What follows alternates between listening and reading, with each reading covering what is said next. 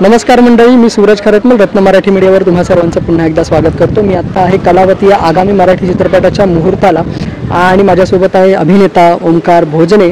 आता सध्या तो खूपच व्हायरल होतो आहे वेगवेगळ्या माध्यमांवरती व्हायरल होतो आहे परंतु आत्ता तो आहे का कलावती या आगामी या चित्र या आगामी चित्रपटाच्या मुहूर्तामध्ये आणि तो माझ्यासोबत आहे आत्ता कलावती कशी आली फिल्म काय आहे पात्र? इतकं उलगडू शकत नाही तरी सुद्धा पात्रांच्या थोडक्यात छटा आणि आत्ताचा मुहूर्त इतक्या दमक्यात झालेला आहे. इतके सगळे ह्यूज कास्ट आहे कसा आहे सगळा अनुभव?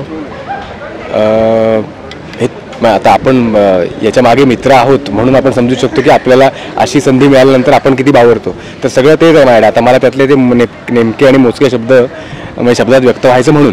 नाहीतर खूप जास्त आनंदाचं वातावरण आहे. म्हणजे माझ्याकडे पण आणि माझ्या सगळ्याच मित्रपरिवारामध्ये की मी एक एका मोठ्या टीमबरोबर काम करतो मोठ्या अशासाठी कारण संजय नार्वेकर सर अमृता खानविलकर मॅडम म्हणजे ज्यांना बघून ज्यांची कामं बघून आपण ठरवतो ना काहीतरी की अरे यार आपण पण काहीतरी आजमावून बघूया वगैरे तर त्यांना बघून आपण आज इकडे या क्षेत्रात हळूहळू हळूहळू पुढे पुढे पावलं टाकतोय. अ, शिवाय संजय जाधव सर म्हणजे ज्यांनी आपल्या चित्रपटांना एक वे वे वेगळा वेगळी दृष्टी दिली असं म्हणू शकतो आपण. त्यांच्या त्यां- त्यांची ती एक वेगळी शैली शैली आहे त्यांची स्टाईल आहे. तर आपण आधीपासून हे सगळं बघत आलोय आणि अ, सिनेमांमुळे ते जगत आलोय आणि त्या वातावरणाचा आता आपण भाग व्हायला जातोय प्रत्यक्षात. तर हे हे लवकर नाही पटत किंवा समजत.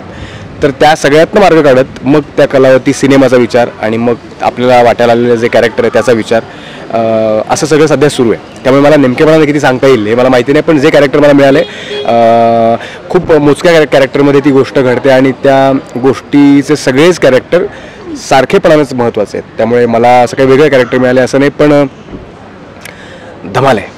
अर्थात अर्थात. मगाशी सगळे मुहूर्ताच्या इथे जो सगळा तामझाम सुरू होता तिकडे तुझं सगळेच कौतुक करत होते. अगदी संजय जाधव सरसुद्धा संजय नार्वेकर सरसुद्धा अमृतासुद्धा सो हे सगळं इतकं मोठी मंडळी ज्यांचं तू आता इतकं छान उल्लेख करतो आहेस त्यांच्याविषयी बोलतो आहेस हे जेव्हा तुझं कौतुक करता इतक्या सगळ्या मीडियासमोर आणि सग ते अनुभव कसे असतात आणि त्यातून काय तुला इन्स्पिरेशन मिळतं? काय ते सुरू आहे ते बरोबर आहे बरोबर नाही.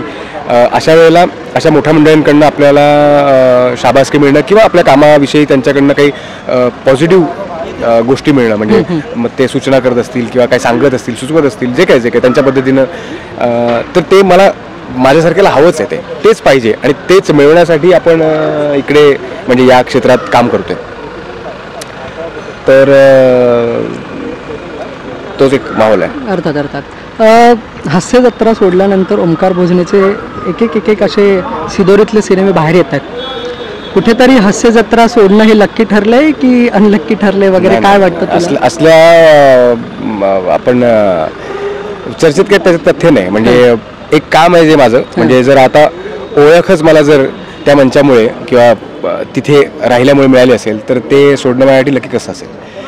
मला अर्थात ते एक तेवढ्या वेळेसाठीचं ते माझं काम होतं आणि मला तिथून आणखी काही कामांसाठी निघावं लागलं. एवढंच तो. ते तो तो त्या तो तो एक सिक्वेन्स आहे. तो तो एक तो टायमिंग आहे. लकी अनलकी या भानगडीत नाही माझ्यासाठी. उलट मी त्या वातावरणात राहिलो.